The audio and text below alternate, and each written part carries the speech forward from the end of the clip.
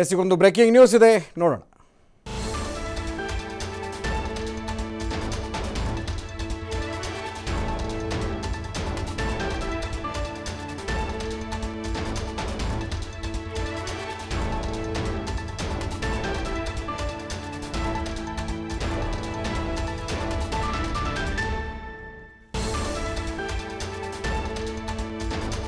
ರಾಜಕೀಯ ಬೆಳವಣಿಗೆಗಳು ಮತ್ತೆ ಇದೀಗ ತಲೆದೋರ್ತಾ ಇದ್ದಾವೆ.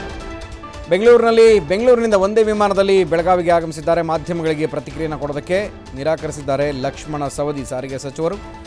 ಜೊತೆಗೆ ಹೈಕಮಾಂಡ್ ಅನ್ನು ಕೂಡ ಭೇಟಿ ಮಾಡಿ ಬಂದಿದ್ದಾರೆ. ಕೇಂದ್ರ ಹೈಕಮಾಂಡ್ ಅನ್ನ ನಂತರ ಬೆಳಗಾವಿಗೆ ಒಂದೇ ವಿಮಾನದಲ್ಲಿ ಆಗಮಿಸಿದ್ದಾರೆ ಬಿಜೆಪಿ ನಾಯಕರು. ಬೆಳಗಾವಿಯ ಬ್ರೇಕಿಂಗ್ ನ್ಯೂಸ್ ಇದು ಬೆಳಗಾವಿ ವಿಚಾರದ ಬಗ್ಗೆ ಕೇಂದ್ರ ಸಚಿವ Suresh Angadi, D C M Lakshman Savadi ಹಾಗೆ ಜಗದೀಶ್ ಶೆಟ್ಟರ್ ಎಲ್ಲ ನಾಯಕರು ಒಂದೇ ಫ್ಲೈಟಲ್ಲಿ ಬೆಂಗಳೂರಿನಿಂದ ಇದೀಗ ಬೆಳಗಾವಿಗೆ ಬಂದಿಳಿದಿದ್ದಾರೆ. ಬೆಳಗಾವಿಯ ಸಾಂಬ್ರಾ ವಿಮಾನ ನಿಲ್ದಾಣದಲ್ಲಿ ಬಂದಿಳಿದಿದ್ದಾರೆ. ಆದರೆ ಮಾಧ್ಯಮಗಳಿಗೆ ಯಾವುದೇ ರೀತಿಯ ಪ್ರತಿಕ್ರಿಯೆಯನ್ನು ಕೊಡೋದಕ್ಕೆ ಅವರು ನಿರಾಕರಿಸಿದ್ದಾರೆ. ಏನೇನು ಬೆಳವಣಿಗೆಗಳು ನಡೀತಾ ಇದ್ದಾವೆ? ಯಾಕೆಂದರೆ ಈಗಾಗಲೇ ಮೂರ್ನಾಲ್ಕು ದಿನದಲ್ಲಿ ಸಾಕಷ್ಟು ವಿದ್ಯಮಾನಗಳು ನಡೆದು ಹೋದವು. ವರ್ಷದ ಸಂಭ್ರಮಾಚರಣೆಯಲ್ಲಿ D C M Lakshman Savadi ಪಾಲ್ಗೊಂಡಿರಲಿಲ್ಲ. ಆದರೆ ಆ ಟೈಮಲ್ಲಿ ಅವರಿದ್ದದ್ದು ಕೇಂದ್ರ ನಾಯಕರನ್ನು ಭೇಟಿ ಮಾಡೋದಕ್ಕೆ. ಏನು ಕಾರಣ? ಇದು ತೀವ್ರ ಕುತೂಹಲ ಇದೆ. ಅಲ್ಲಿ ಬಂದು ವಾಪಸ್ ಬೆಂಗಳೂರಿಗೆ ಬಂದಾಗ ಮುಖ್ಯಮಂತ್ರಿಗಳನ್ನು ಭೇಟಿ ಮಾಡಿದಾಗ ಹೇಳ್ತಾರೆ, ಏನು ಸರ್ ನಾನು ಬರದೇ ಇದ್ದಿದ್ದಕ್ಕೆ ಒಂದು ದಿನಕ್ಕೆ ನಾನು ಸಿ ಎಂ ಆಗಿಬಿಟ್ಟಿದ್ದೆ ಆಗಲೇ ಅಂತ ಹೇಳ್ತಾರೆ. ಅಂದರೆ ಹಾಸ್ಯ ಚಟಾಕಿಯನ್ನು ಕೂಡ ಹಾರಿಸ್ತಾರೆ. ನೋಡ್ತಾ ಇದ್ದೀರಿ, ಬೆಳಗಾವಿಯ ಸಾಂಬ್ರಾ ವಿಮಾನ ನಿಲ್ದಾಣದಲ್ಲಿ ಬಂದಿಳಿದಂತಹ ಈ ಮೂವರು ನಾಯಕರು ಬೆಂಗಳೂರಿನಿಂದ ಬೆಳಗಾವಿಗೆ ಬಂದಿಳಿದಿದ್ದಾರೆ ಸಾಕಷ್ಟು ರಾಜಕೀಯ ಚಟುವಟಿಕೆಗಳು ನಡೆದವು. ಉಮೇಶ್ ಕತ್ತಿ ಹೇಳ್ತಾರೆ, ನಾನು ಮಂತ್ರಿ ಆಗೋ ಸಮಯ ಬಂದುಬಿಡ್ತು ಅಂತ.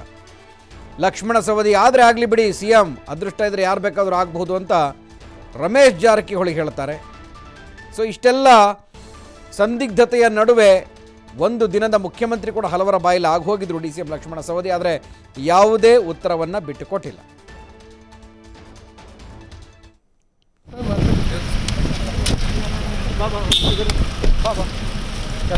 Sir sir D K Shivakumar ಮಂತ್ರಿ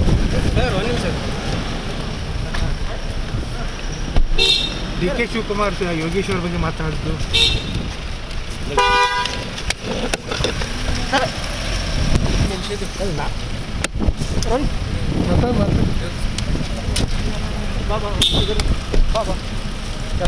sir.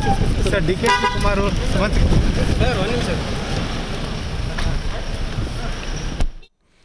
ಎಸ್ ಈ ವಿಚಾರದ ಬಗ್ಗೆ ನಮ್ಮ ಬೆಳಗಾವಿಯ ಪ್ರತಿನಿಧಿ ಶ್ರೀಧರ್ ಕೋಟಾರ್ ಗಸ್ತಿ ಮತ್ತಷ್ಟು ಮಾಹಿತಿಯನ್ನು ಕೊಡ್ತಾರೆ.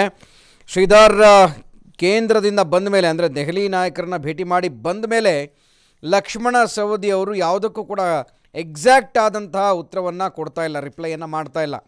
ಸೊ ಈಗ ಮೂವರು ನಾಯಕರು, ಜಗದೀಶ್ ಶೆಟ್ಟರ್ ಅವರು ಮತ್ತು ಡಿ ಸಿ ಎಂ ಹಾಗೆಯೇ ಮೂರು ಜನ ಬಂದಿದ್ದಾರೆ, ಆದರೆ ಕೇಂದ್ರ ಸಚಿವರು ಯಾರು ಕೂಡ ಯಾವುದೇ ರೀತಿಯ ಪ್ರಶ್ನೆಗಳಿಗೆ ಉತ್ತರವನ್ನು ಕೊಡದೆ ಜಾರ್ಕೊಳ್ತಾ ಇದ್ದಾರೆ. ಸೊ ಏನಿದ್ರ ಅರ್ಥ ಅಂತ?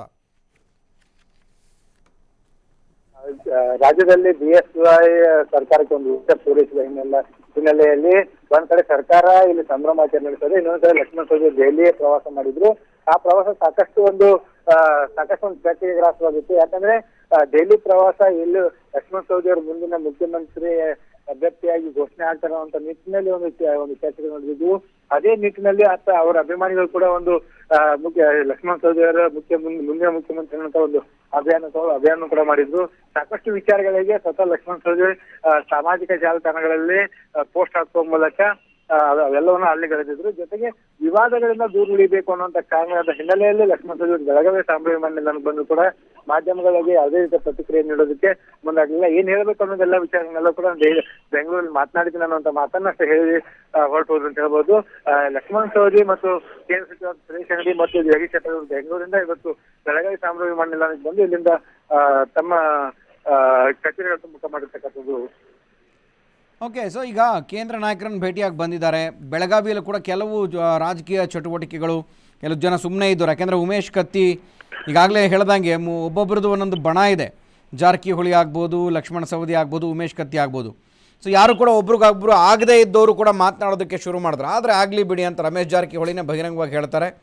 ಇನ್ನು ಉಮೇಶ್ ಕತ್ತಿ ಹೇಳ್ತಾರೆ, ನಾನು ಮಂತ್ರಿ ಆಗುವಂಥ ಸಮಯ ಬಂತು ಅಂತ. ಬಟ್ ಇದೆಲ್ಲವೂ ಕೂಡ ಯಾವಾಗ? ಯಾಕೆಂದ್ರೆ ಒಬ್ರು ಮಾತಾಡ್ತಿಲ್ಲ ಅಂತಂದ್ರೆ ಜನತೆಗೆ ಏನು ಉತ್ತರ ಕೊಡ್ತಾರೆ ಇವರು ಅಂತ?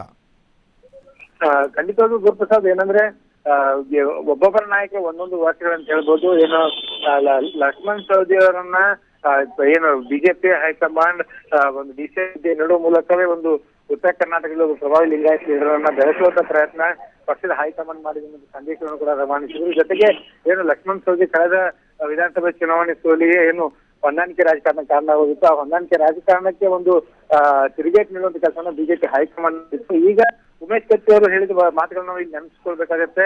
ಏನಂದ್ರೆ ಉಮೇಶ್ ಕತ್ತಿ ಅವರು ಸ್ಪಷ್ಟವಾಗಿ ಹೇಳ್ತಾರೆ, ನಾನು ಮಂತ್ರಿನೂ ಆಗ್ತೀನಿ ಮತ್ತು ಸಿಎಂ ಆಗ್ತೀನಿ ಅಂತ ಮಾತನ್ನ ಹೇಳ್ತಾರೆ. ಇನ್ನೂ ಹದಿನೈದರಿಂದ ಇಪ್ಪತ್ತು ವರ್ಷಗಳ ಕಾಲ ರಾಜಕಾರಣದಲ್ಲಿ ಇರ್ತೀನಿ. ಯಡಿಯೂರಪ್ಪನ ಸರ್ಕಾರ ಮುಂದಿನ ಮೂರು ವರ್ಷ ಪೂರೈಸುತ್ತೇನೆ ಅಂತ ವಿಶ್ವಾಸ ಮಾತ್ರಗಳನ್ನ ಉಮೇಶ್ ಕತ್ತಿ ಅವರು ಹೇಳ್ತಾರೆ. ಈಗ ಲಕ್ಷ್ಮಣ ಸವದಿ ಕಡೆ ಯಡಿಯೂರಪ್ಪನವರ ಮುಂದಿನ ಅವರ ನೇತೃತ್ವದಲ್ಲೇ ಮುಂದಿನ ಸರ್ಕಾರ ಈ ಒಂದು ಸರ್ಕಾರ. ತನ್ನ ಅವಧಿಯನ್ನು ಪೂರ್ಣಗೊಳಿಸುತ್ತೇನೆ ಅಂತ ಮಾತನ್ನ ಹೇಳ್ತಾರೆ. ಮತ್ತೊಂದು ಜಲಸಂಪನ್ಮೂಲ ಸಚಿವರ ರಮೇಶ್ ಜಾರಕಿಹೊಳಿ ಕೂಡ ಯಡಿಯೂರಪ್ಪ ನೇತೃತ್ವ ಸರ್ಕಾರ ಈ ಅವಧಿಯನ್ನು ಪೂರ್ಣಗೊಳಿಸುತ್ತೇನೆ ಅಂತ ಮಾತನ್ನ ಹೇಳ್ತಾರೆ. ಅದ್ರ ಜೊತೆಗೆ ಏನಾದ್ರೂ ದಕ್ಷಿಣ ಮುಖ್ಯಮಂತ್ರಿ ಆಗ್ತಾರೆ ಹಣೆ ಬಾರದಲ್ಲಿದ್ರೆ ಆಗ್ಲಿ ಬಿಡಿ ಅನ್ನೋಂತ ಮಾತನ್ನು ಕೂಡ ಹೇಳುವಂತ ಹೇಳ್ತಾರೆ. ಅಂದ್ರೆ ಎಲ್ಲ ಒಂದ್ ಕಡೆ ಏನ್ ಬೆಳಗಾವಿ ಜಿಲ್ಲೆ ರಾಜಕಾರಣಿಗಳಿದ್ದಾರೆ ತಮ್ಮ ತಮ್ಮ ರಾಜಕೀಯ ಏನು ದಾರಿಗಳನ್ನ ಆಯ್ಕೆ ಆಯ್ಕೆ ಮಾಡ್ಕೊಂಡಿದಾರೋ ಆ ನಿಟ್ಟಿನಲ್ಲಿ ಅವ್ರು ಸಾಕ್ತಾ ಇದ್ದಾರೆ ಸದ್ಯಕ್ಕೆ ಅಷ್ಟೇ ಈಗ ಏನು ಲಕ್ಷ್ಮಣ ಸೌದಿ ಅವರು ಮಾಧ್ಯಮಗಳಿಂದ ಒಂದಿಷ್ಟು ಅಂತರವನ್ನು ಕಾಯ್ದುಕೊಂಡಿರೋದು ಇವತ್ತು ಕಂಡು ಬಂತು ಗೊತ್ತು ಸರ್. ಸೊ ಈಗ ಬೆಳಗಾವಿಯ ರಾಜಕಾರಣ ಯಾಕೆಂದ್ರೆ ಈ ಹಿಂದಿನ ಸಮ್ಮಿಶ್ರ ಸರ್ಕಾರ ಇದ್ದಾಗಲೂ ಕೂಡ ಇಷ್ಟೇ ಒಂದು ಮಹತ್ವವನ್ನು ಪಡ್ಕೊಂಡಿತ್ತು. ಸ್ವಲ್ಪ ಕಿರಿಕುಗಳು ಎಡವಟ್ಟುಗಳು ಕೂಡ ಆದವು. ಸೊ ಈಗಲೂ ಕೂಡ ಈ ಒಂದು ಬಿ ಜೆ ಪಿಯ ಸರ್ಕಾರಕ್ಕೆ ಯಾಕೆಂದ್ರೆ ಇದು ಅಲ್ಲಿಂದ ಪಡ್ಕೊಂಡು ಬಂದು ಎರವಲು ಪಡ್ಕೊಂಡ್ಬಂದು ಮಾಡಿರುವಂಥ ಸರ್ಕಾರ ಒಂದು ವರ್ಷ ಆಗಿದೆ. ಬಟ್ ಇಲ್ಲೂ ಕೂಡ ಏನಾದರೂ ಅಂತಹ ಬೆಂಕಿ ಕಾಣಿಸ್ಕೊಳ್ಳುವಂಥ ಸಾಧ್ಯತೆ ಇದೆಯಾ ರಾಜಕೀಯದ ಮಟ್ಟಿಗೆ?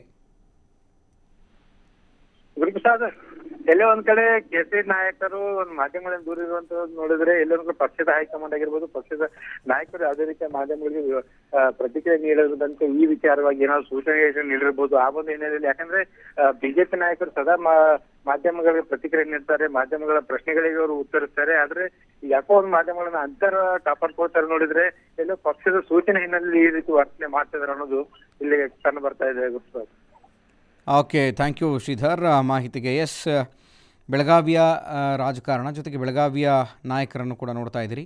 ಸೊ ಅಲ್ಲಿ ಒಂದು ಕಡೆ ಜಗದೀಶ್ ಶೆಟ್ಟರನ್ನು ಹೊರತುಪಡಿಸಿದ್ರೆ ಇನ್ನೆಲ್ಲರೂ ಕೂಡ ಸುರೇಶ್ ಅಂಗಡಿ ಸಂಸದರು ಜೊತೆಗೆ ಕೇಂದ್ರದ ಮಂತ್ರಿಗಳು ಕೂಡ ಮತ್ತು ಇನ್ನೊಂದು ಕಡೆ D C M Lakshman Savadi. So ಇವರು ಕೂಡ ಯಾಕೆಂದರೆ ಈ ಹಿಂದೆ ಮಾತನಾಡಿದವರು ಈಗ ಗಪ್ಚುಪ್ಪಾಗಿ ನೋಡ್ತಾ ಇದ್ದೀರಿ ಮಾಧ್ಯಮಗಳ ಮುಂದೆ, ಮೈಕ್ ಇಡ್ತಾ ಇದ್ದ ಹಾಗೇ ಆ ಕಡೆ ತಿರ್ಕೊಳ್ತಾರೆ, ಈ ಕಡೆ ನೋಡ್ತಾ ಇದ್ದ ಹಾಗೆ ಜಸ್ಟ್ ಕೈಯನ್ನು ಈ ಕಡೆ ತೋರಿಸಿ ಹೊರಡ್ತಾರೆ ಮತ್ತು ಆ ಕಡೆ ನೋಡ್ತಾ ಇದ್ದಾರೆ. ಪ್ರಶ್ನೆ ಕೇಳ್ತಾ ಇದ್ರು ಕೂಡ, ಏನು ಗೊತ್ತಿಲ್ಲದವ್ರ ಥರ ಕೂತ್ಕೊಳ್ತಾ ಇದ್ದಾರೆ. ಇದು ಜನರಿಗೆ ಅವರು ಕೊಡ್ತಾ ಇರುವಂತಹ ಉತ್ತರ.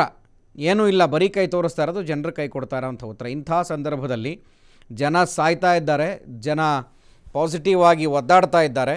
ಇವರು ರಾಜಕಾರಣ ಮಾಡೋದಕ್ಕೆ ಕೇಂದ್ರದವರೆಗೂ ಹೋಗಿ ಬರ್ತಾರೆ. ಇಲ್ಲಿ ಕುರ್ಚಿ ಅಳ್ಳಾಡಿಸ್ತೀವಿ, ಬುಡ ಅಳ್ಳಾಡಿಸ್ತೀವಿ ಅಂತ ಒಬ್ರಿಗೊಬ್ರು ಮಾತನಾಡ್ಕೊತಾ ಬರ್ತಾರೆ. ಆದರೆ ಯಾವೊಂದು ವಿಚಾರವಾಗಿಯೂ ಕೂಡ ಅವರು ಮಾತನಾಡೋದಕ್ಕೆ ಇಷ್ಟಪಡೋದಿಲ್ಲ ಅಂದರೆ ಏನು ಪ್ರತಿಯೊಬ್ಬರು ಮನೆ ಮನೆಗೂ ಹೋಗಿ ಹೇಳ್ತಾರಾ ಇವರು ಅನ್ನೋಂಥ ಪ್ರಶ್ನೆ. ಜನರಿಗೆ ಉತ್ತರಿಸಬೇಕಾದಂತಹ ಒಂದು ತಾಕತ್ತಿಲ್ಲ ಅಂತ ಅಂದಮೇಲೆ ಇಂಥವರೆಲ್ಲ ನಾಯಕರು ಬರೀ ರಾಜಕೀಯ ಮಾಡ್ಕೊಂಡಿರೋದಕ್ಕೇ ಒದ್ದಾಡ್ತಾ ಇದ್ದಾರೆ ಅನ್ನೋದು ಇಲ್ಲಿ ಗೊತ್ತಾಗ್ತಾ ಇದೆ.